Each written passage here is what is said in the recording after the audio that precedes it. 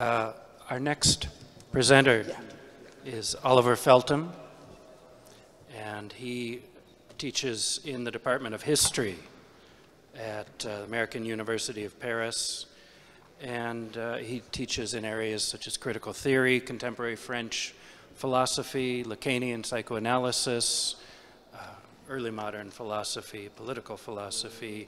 He has a number of books that are I think, well known to many of us here. Uh, Anatomy of Failure, Philosophy and Political Action, Bloomsbury, 2013. Alain Badiou, Live Theory from 2008. Uh, he's also contributed to a number of edited projects around uh, Logique des Mondes and on Alain Badiou. Uh, and perhaps uh, we're, we're all in an infinite debt for his uh, wonderful translation of Being and Event uh, that uh, was itself an important Anglophone event, I think. Uh, and so, very happy to present Oliver here today. And uh, the title of his talk is Writing Multiplicity, One or Several ontologies. So thanks very much, Nick. Um, and I'd also like to thank uh, Jana and Michael for the invitation to um, come to Prague, which is most appreciated. Um, so to leap straight in, the paper has four sections, uh, as you can see laid out just there. And I'm going to start off with a question around the status of the argument that mathematics is ontology. In the first meditation of Being and Event, Badiou sets out its inaugural thesis Mathematics is ontology, the science of being qua being. In meditation one, he sets out the requirements for ontology.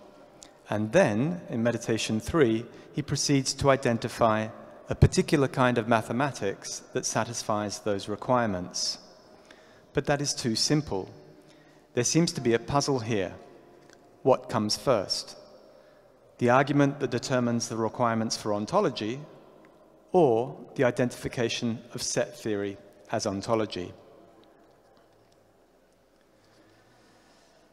One cannot argue that a particular discourse is uniquely suitable for the task of ontology without pronouncing as to the nature of being, and thus engaging, at least in a preliminary manner, in ontology yourself?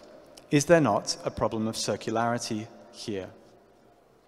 On the one hand, we find these very strong readings of canonical texts in the history of metaphysics that are supposed to set up the choice of set theory as ontology.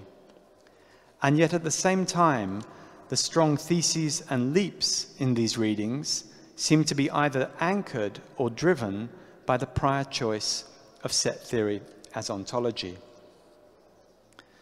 So there are two solutions to this general puzzle. They break the circularity by positing a basic order. One can argue that it is the philosophical arguments that come first.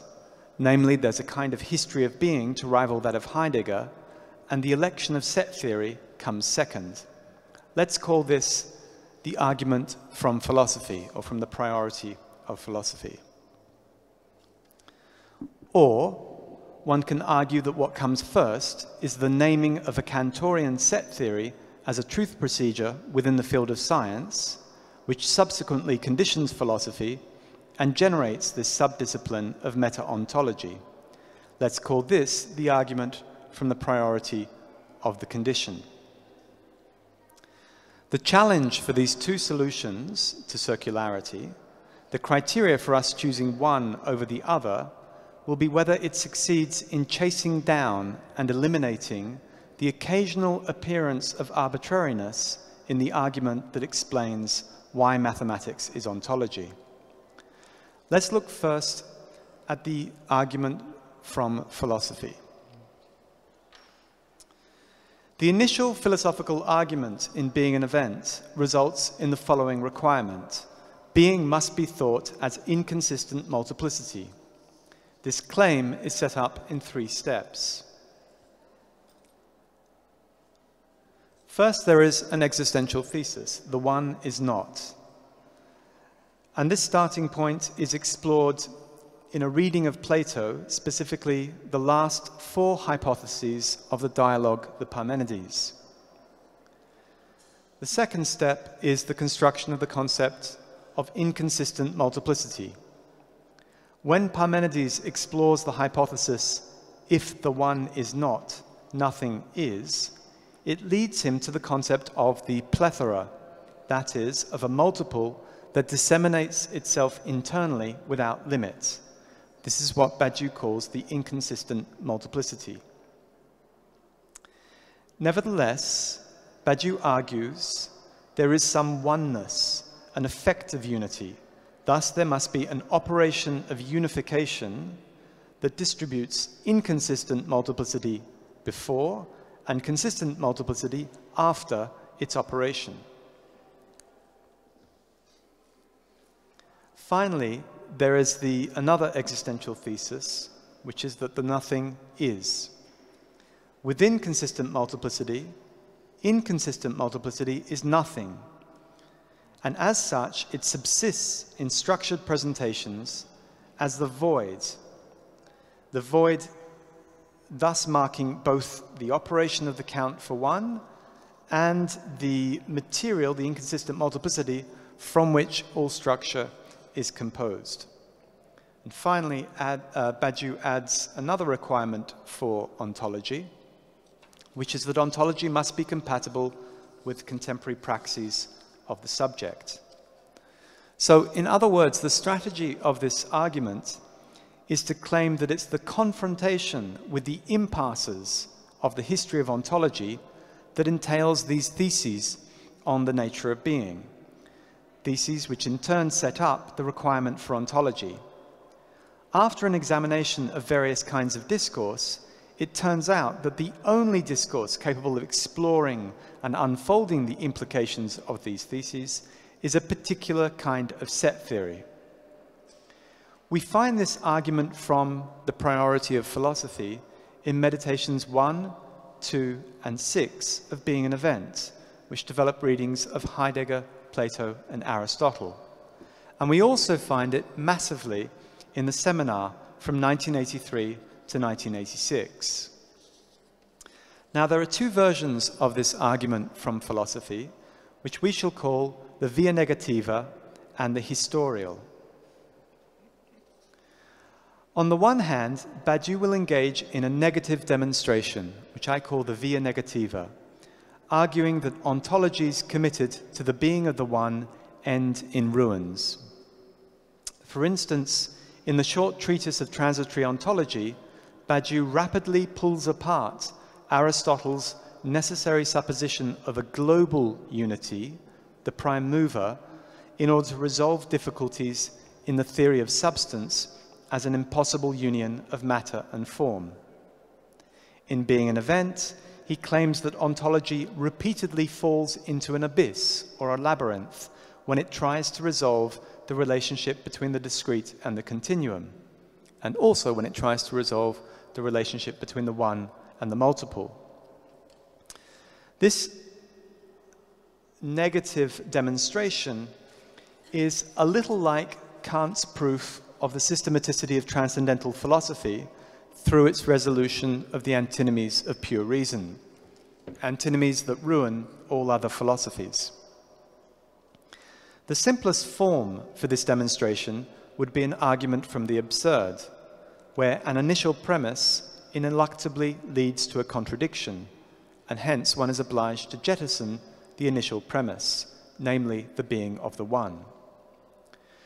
The problem, of course, is that despite the variety and breadth of Badiou's examples of paradox and contradiction in the history of ontology, strictly speaking, this demonstration can never be exhaustive because the history of philosophy is still open.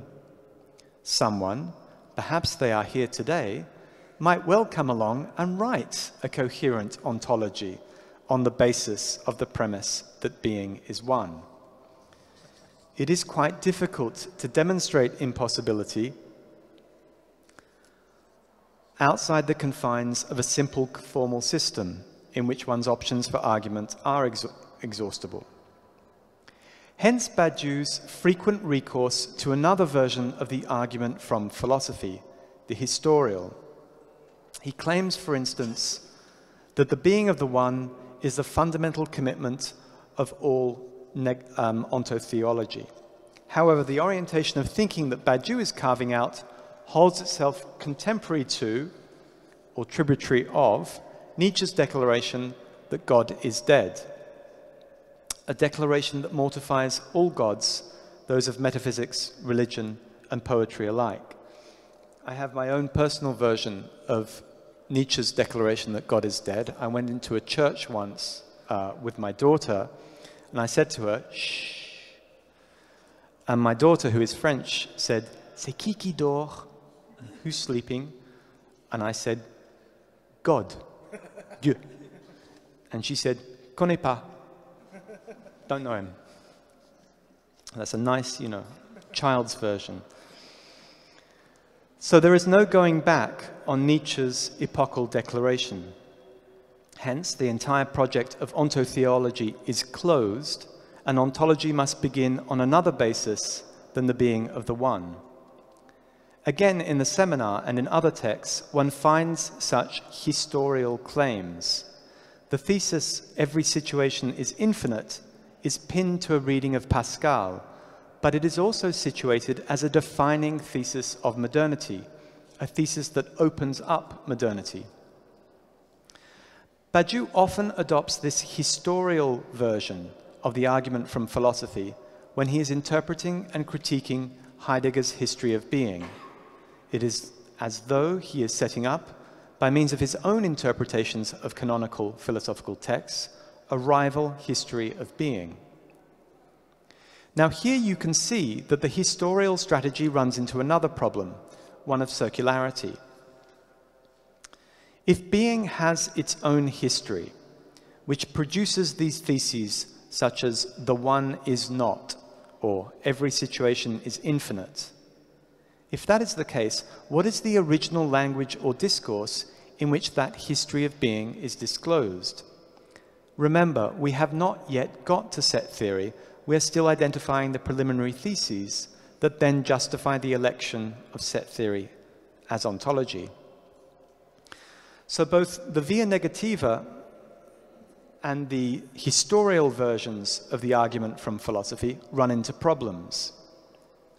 I contend that it is these problems that generate the occasional appearance of forcing in Badiou's interpretations of philosophical texts, the occasional appearance of not so much arbitrariness as a prevalence of choice or of decision in the construction of his interpretations. This is not a matter, I should insist, of not convincing specialists, Heidegger specialists, Plato specialists, Pascal specialists, of the cogency of Badiou's interpretation. It's rather a matter of the overly apparent strategic or tactical choices in his readings. Now, Badiou, of course, is well aware of the problem of circularity in the justification of an inaugural decision as to the nature of ontology and philosophy. It forms one of the central topics of his analysis of the poem of Parmenides in the eponymous seminar of 1985 to 86. In that seminar, he appears to borrow an idea from Guy Lardreau concerning the foundation of philosophy. Lardreau seems to argue that the inaugural decision as to the nature of philosophy is actually taken from the standpoint of another discourse. Badiou takes his key from this and argues that philosophy is under a supplementary condition. Badiou insists on the heterogeneity of this condition to philosophy and on its encounter with philosophy as productive of, productive of decisions. Let's retain these two terms, heterogeneity and encounter, because they will guide our conclusion. Thus, in his seminar, Badiou adopts the argument from the priority of the condition as the solution to the problem of circularity affecting inaugural decisions, such as the thesis, Mathematics is Ontology. So let's, let's now look at this solution that Badiou appears to prefer, which is the argument from the priority of the condition. In this case, ZFC set theory. Now, this argument runs as follows Philosophy only occurs historically in the form of a compossibilization of truth procedures occurring in four different conditions of art, science, politics, and love. A philosophy develops a system of reference by constructing its own names for the generic praxes that trace out the consequences of events occurring in these extra philosophical fields. For instance, Being and Event is an attempt to philosophically name what occurs in the condition of science as a truth procedure faithful to the Cantor event. But it also names what occurs in poetry in Mallarmé's fidelity to the crisis in verse. There are very brief references to Engels and to Mao in the political thinking of the states, and there is an engagement with psychoanalysis as an intervention in the condition of love via the exegesis of Lacan's concept of the subject. As such, it is the philosopher's initial fidelity to the Cantor event that decides that Zermelo-Fraenkel set theory with the axiom of choice will determine the nature of ontology, and hence ground the philosophical theses such as there is no being of the one. First comes the condition, and then comes philosophy. Alberto Toscano and Ray Brassier explored this strategy in an article published in 2004, but I think originally written in 99 or 2000, where they claimed that mathematics is ontology. That statement was Badiou's own intervention, his own fidelity to the Cantor event. Now, at this point, another suspicion of arbitrariness emerges with regard to the justification of this thesis mathematics is ontology. Many commentators have asked why choose this particular variant of set theory, although Badiou does give a whole number of cogent reasons during the construction of Being and Event for the choice of ZFC. Others have asked why choose set theory as a metonymy for mathematics and not another subdiscipline of maths, given that the entirety of mathematics is said to be ontology. Now, I will address this second appearance of arbitrariness or of excessive decision in the argument from the condition in section four of this presentation. For the moment, what I would like to note is the virtue of this argument from conditions it leads to an exploration of the singularity of ZFC set theory from a philosophical point of view. A series of peculiar characteristics that supposedly justify its election as ontology. The first of which, which has already been mentioned um, by Soutien, is that set theory has no defined object. There is no explicit unifying definition of a set in ZFC set theory. Rather, there is one primitive relation of belonging which may be used in the ways specified by the axioms. Diverse sets then emerge from that manipulation. The most striking demonstration of this idea occurs in the explanation of the axiom of the union set, which allows one to decompose a given set into further sets um, beneath it, so, so as to speak. The axioms structure and render consistent the situation that is ZFC set theory. This is an exemplary case for pragmatism. Use defines being. That is to say, what counts as being, as multiples of multiples, is only ever whatever is encountered in the facility and obstacles of writing and manipulating sets. There is no unifying or totalizing speculative gaze at being.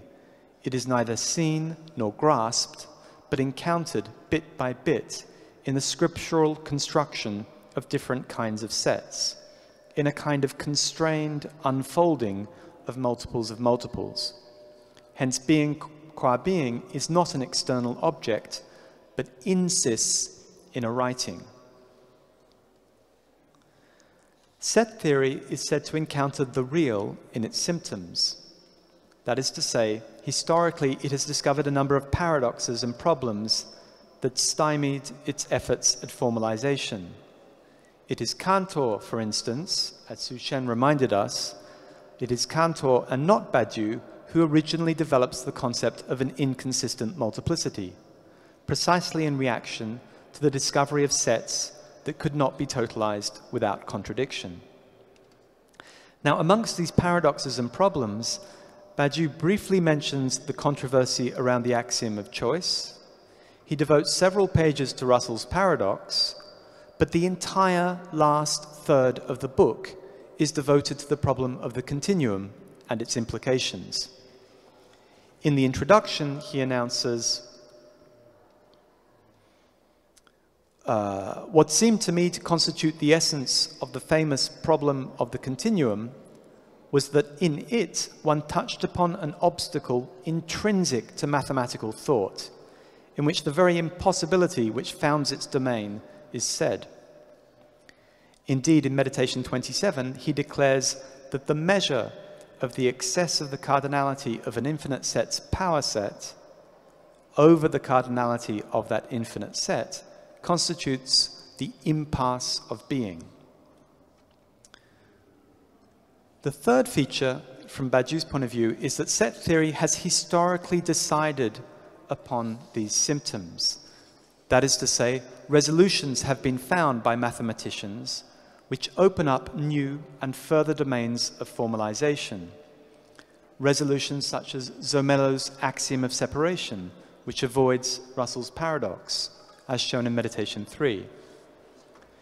Badiou interprets these resolutions as decisions on being.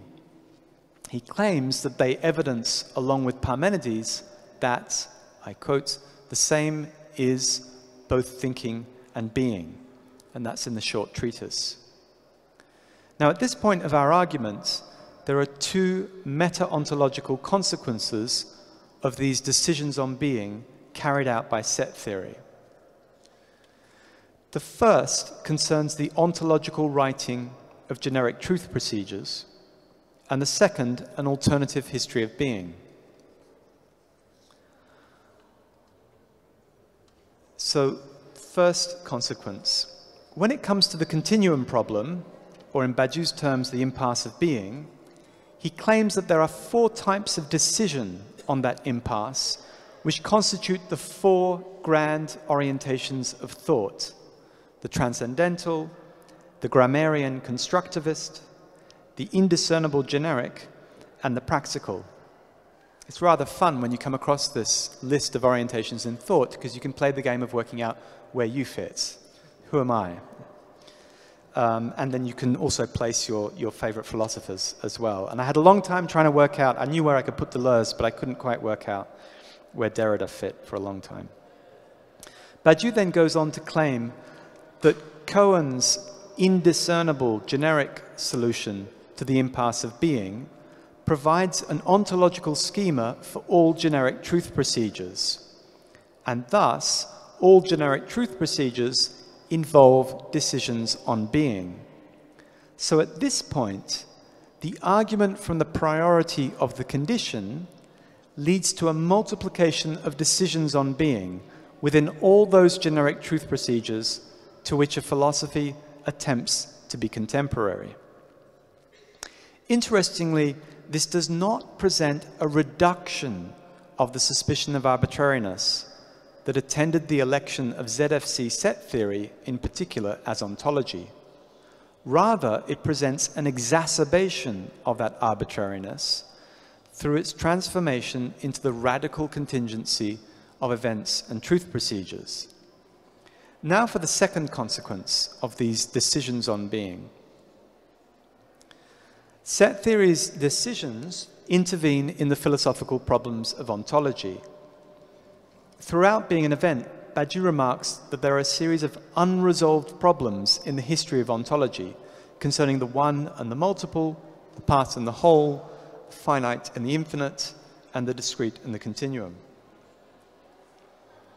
It just so happens that Zermelo-Fraenkel set theory provides a series of new solutions to these problems. There is thus a history of being that is generated by Badiou's argument from the condition of set theory to philosophy.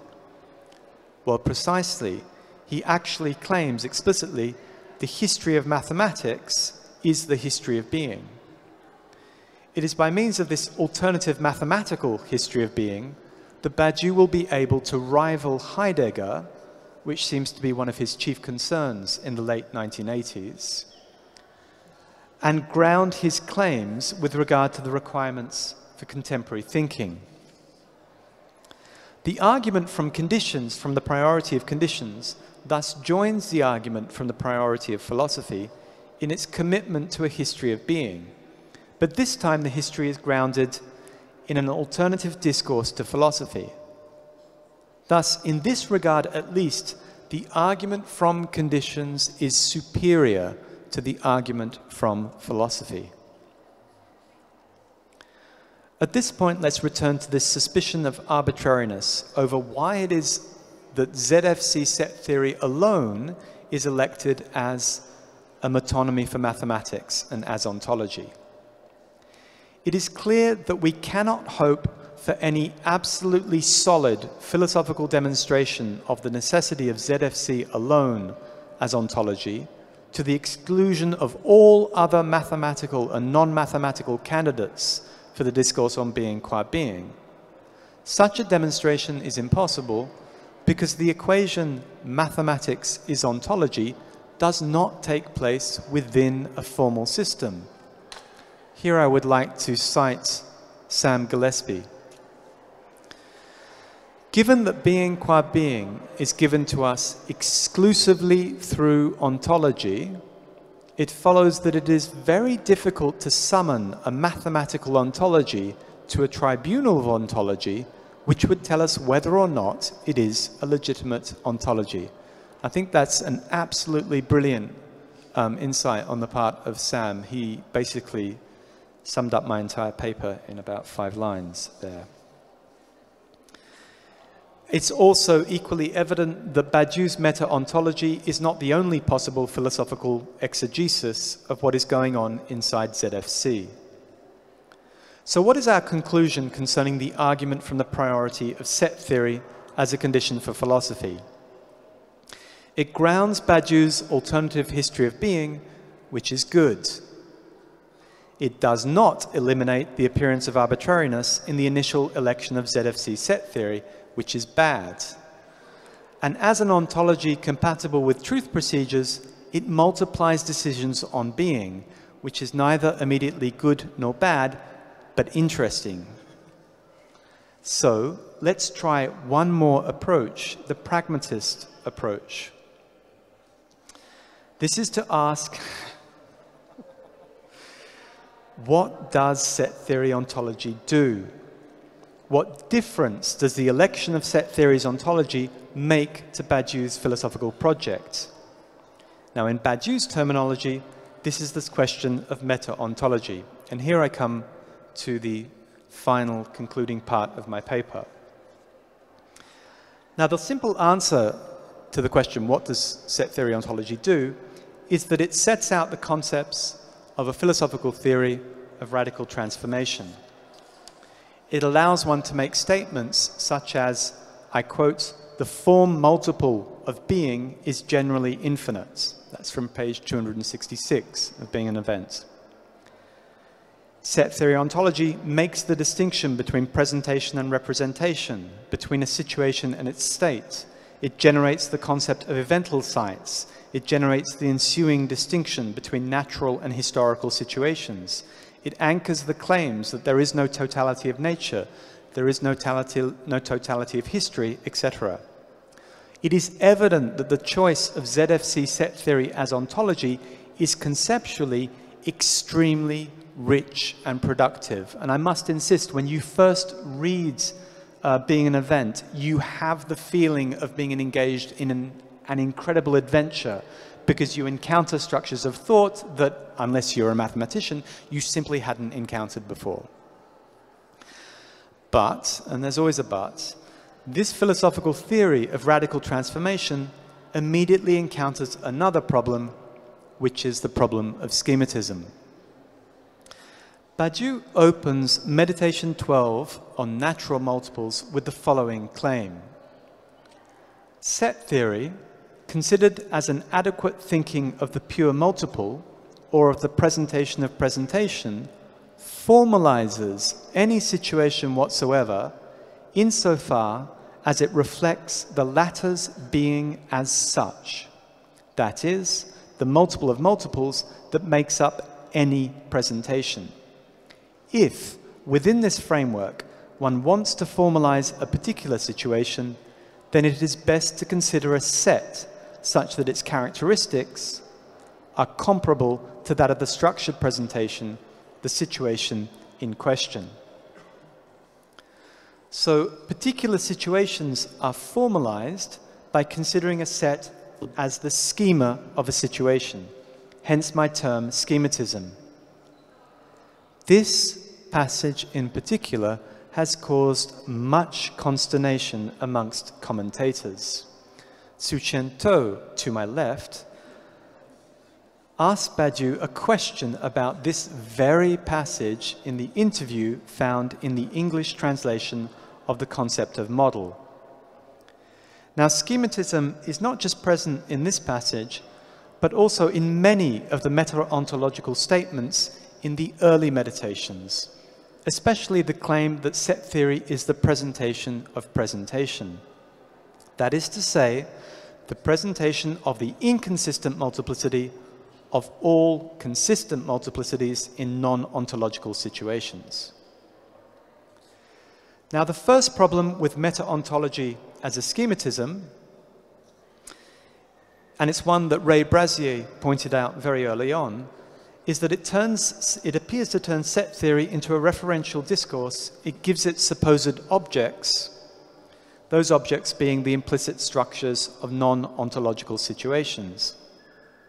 And so Badiou would be a kind of structuralist, but après la lettre. Well, it's a shitty joke, sorry.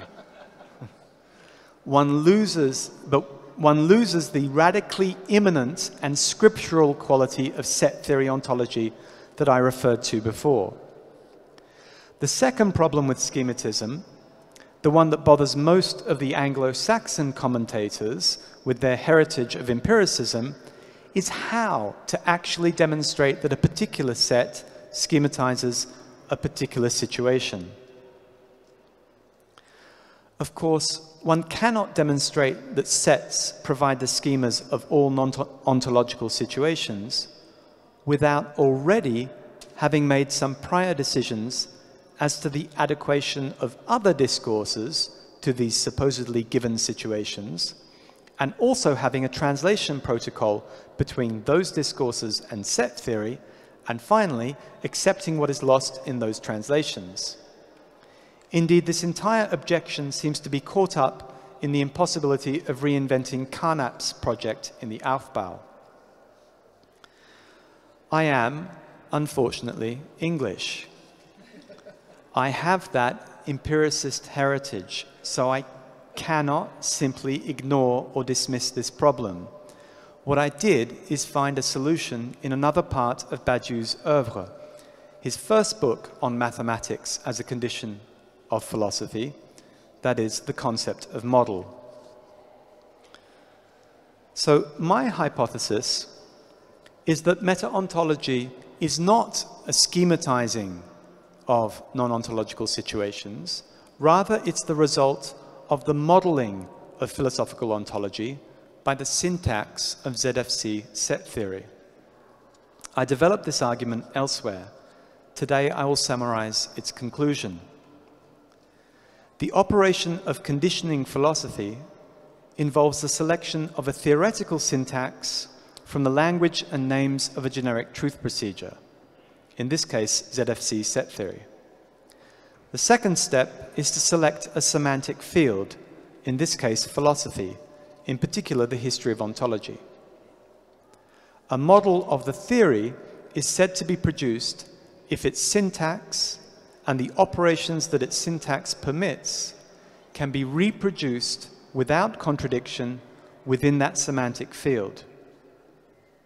Hence, in terms of the production of meta-ontology, if Badiou can reproduce the syntax and operations of ZFC set theory in the semantics of the history of ontology without encountering contradiction, then he will have produced a model, a philosophical model of ZFC set theory. The argument from the priority of conditions must therefore be understood via the operation of modeling. This hypothesis neatly resolves the problem of schematism. Badiou's meta-ontology does not provide a theoretical schema of non-ontological situations. Rather, these objects or names, such as non-ontological situation, natural or historical situation, evental site, state, impasse of being, these are all elements of a model of a theory. In pragmatic terms, Badiou's meta-ontology creates a new universe of objects. Thus, when I analyze a situation as a historical situation, for example, my meta-ontological model simply enters into competition, not with given concrete situations, as if according to some vulgar empiricism, but with established universes created by the models of other theories. That is to say, it enters into an ideological battle, which is the constant and, strictly speaking, theatrical background of Badiou's entire project. There is always a fundamental ideological battle underneath the, the, the philosophical work. So, schematism is dismissed. But there is one last problem that this solution from modeling encounters. It does not completely eliminate the suspicion of arbitrariness. Simply put, why model ZFC set theory are not another mathematical theory?